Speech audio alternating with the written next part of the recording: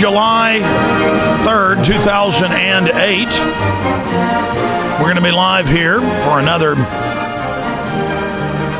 hour and 50 minutes. David Icke will be with us into the middle of the next hour.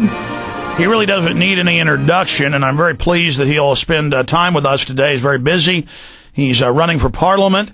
Uh, right now. He has uh, been the head of the Green Party previously uh, in England. He, of course, is a championship goalie. Uh, you know, in the big international league, he also, of course, uh, was a big presenter, one of the top presenters on uh, the sports on BBC. What a life he has led, and he is the author of scores of best-selling books.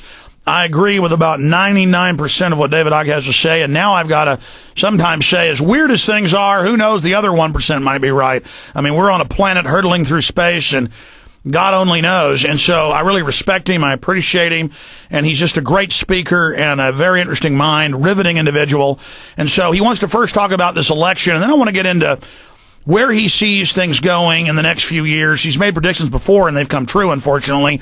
What he's forecasting in the next five to ten years, what he's forecasting in the short term with Iran, how he thinks uh, this is going to play out with the forces of good and evil, where he thinks mankind uh, is going. A conversation with David Icke. And of course, his website's davidicke.com. He has many others, and we have links to those up on Infowars.com and PrisonPlanet.com. David Icke, thank you for spending time with us. Pleasure, Alex. Um, you've got the floor. Talk about whatever you'd like, sir.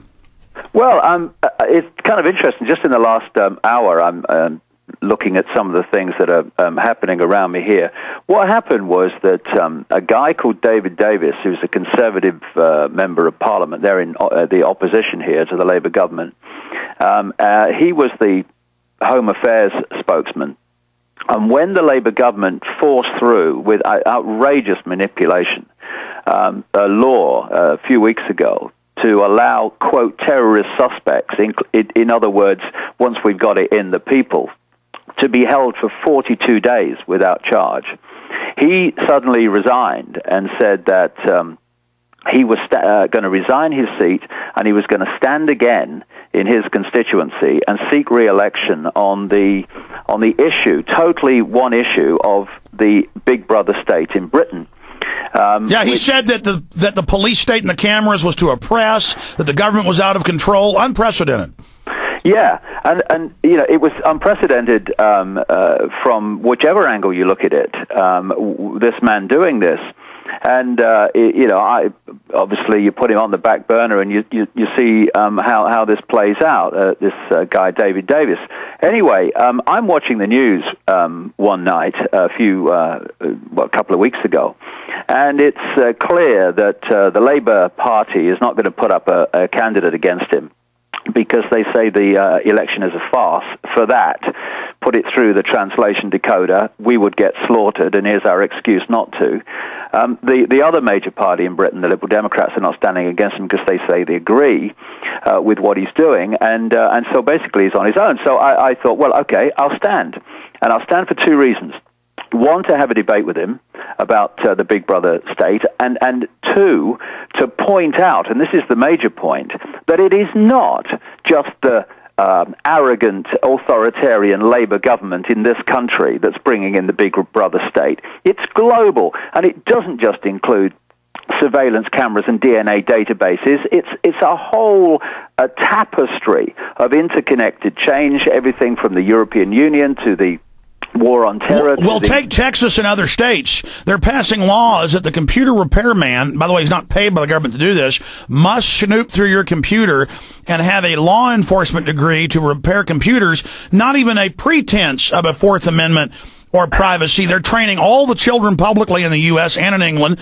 now eh, to to spy on their parents. I mean, it, it, it's like everything has gone into warp drive. Ex- exactly, it has. Um, and uh, the, the, you know the point I, have been making, and uh, since I started to uh, you know decide to stand, was this very point.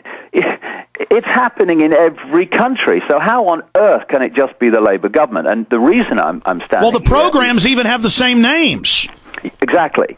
So um, I'm standing here to use the platform and get what mainstream media coverage I can as they cover these uh, these things like by-elections to get this point across. And I'm going on the line, Big Brother, the big picture. But what then starts to emerge um, is that people that are coming up to this constituency to support David Davis and, and are on his uh, website. Yeah, he's coming up to support me in opposing Big Brother.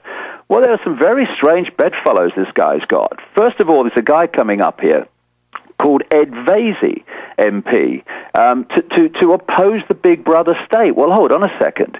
He was one of the original signatories to uh, something called the Henry Jackson Society, started in 2005, named after a former U.S. senator. And, and then I look at the members of the Henry Jackson Society. First of all, Sir Richard Dearlove, head of MI6 from 1999 to 2004. Irwin Stelzer, former managing director of the Rothschilds Bank, um, now living in London, U.S. economist, a contributor to the Weekly Standard, of course, Murdoch's neocon rag. So they're trying uh, to co-opt the revolution against tyranny. They know they can't stop it, so they're trying to preempt it. So you're preempting, they're preempting. Well, yeah, in, it, it's becoming clear what this scam here that I'm, I'm, I'm in the middle of here is, is, is about now because he was also a resident scholar of the um, American Enterprise Institute, and now he's with the Hudson Institute. Of course, now we're starting to talk major neocon organizations that were uh, orchestrators and propagandists for the war on terror, but it goes further international patrons for the Henry Jackson Society of this guy who's coming to support David Davis against Big Brother include Richard Perle, one of the major architects. The of Prince of Darkness. A Prince of Darkness. William Kristol, co-founder of the Project for the New American Century. James Woolsey, former head of the CIA and neocon. That's all the head neocons you just listed. Uh, another international patron, Robert Kagan, co-founder of the project, the New American Century, with William Kristol senior associate at the Carnegie Endowment for International Peace, which is the the uh, Committee in the 50s with Norman Dodds uh, uh, found out was actually manipulating war. He's the senior speechwriter for George Shultz, one of the major manipulators behind the scenes. Uh, in the United States, when he was Secretary of State, he's still top kingmaker. Yes. Yeah, these are the exactly these are the people um, who are connected to this organization and this guy Ed Vaizey, who's coming up to support David Davis to fight Big Brother, and there's what, another guy coming up called Patrick Mercer MP. He's a consultant for something called Blue Hackle, which is a security firm akin to Blackwater, that kind of operation. Yeah, private mercs. Let me stop you, David, because yeah. a lot of Americans, people in the U.S., don't know the British nomenclature for elections. By standing, that means you're running for his seat. Uh, he's pulling back in this stunt, you know, to claim he's running from outside to come in and fix things. And, and it's not like he's just signed on to a group that has some neocons on it. They're coming to his district to push and campaign for him. That's what you mean by coming up. So, so yes, these are coming up to this constituency yes, where I'm, I'm sitting in the exactly. middle of it now. The neocons are actively flocking in to this area of England to push this guy actively. Go ahead. Exactly. Patrick Mercer MP is also sponsored by something called the Heart Group. Now, this is a guy, just to confirm again, who's coming up to, to support the, the challenge to Big Brother. Well, this Heart Group that sponsors this Patrick Mercer produces electronic passports, border control systems for security, vehicle registration and tracking, biometric identification systems, etc., etc. And it's very clear that you, you, know what it's like, Alex. If you if you have um, uh, an awareness starting to um, express itself, an understanding of some of what's going on. You want to put your people in there to become the focus and therefore control and direct or misdirect the that gathering awareness. And more and more it it's clear as I'm I'm, I'm uh, up here going through this uh, election, which I don't want to win, of course. Um, I, I waste of time going to Parliament. But you have to, David. I mean, you have no, to win. No, I don't want to win. I don't want to win because um, what what it will do is um, catch me in the web. Um, which will stop me doing all the other things that I need to do that are far more important. Well, I mean, have you cal- I understand, but have you calculated? I mean, is this going to hurt who he's running against more than it hurts him? Um, he'll win he'll win easily. Um, but you're I, just you know, educating people. But to be clear, exactly. That's why I'm. What they're doing here is this information out. Uh, I mean, do you agree? This is what he'll do then. He'll say, look, I'm against Big Brother. What we need is this, and it'll be worse Big Brother, but they'll label that as anti Big Brother, and then he'll be the savior and only give you the good ID cards that are safe. Yeah, and the other thing that is happening, and it's already happened, is because he's done this, he's now the, the, the, the man the British media go to if ever a Big Brother type story breaks. It's, it's let's get a comment from David Davis. So he becomes like Ah. the, the, the standard bearer. Um, he's the man. And of course, um, they need uh, people like that to misdirect this gathering awareness. And, and the awareness is not only coming from shows like you and people like me, it's coming from daily experience, of course, now.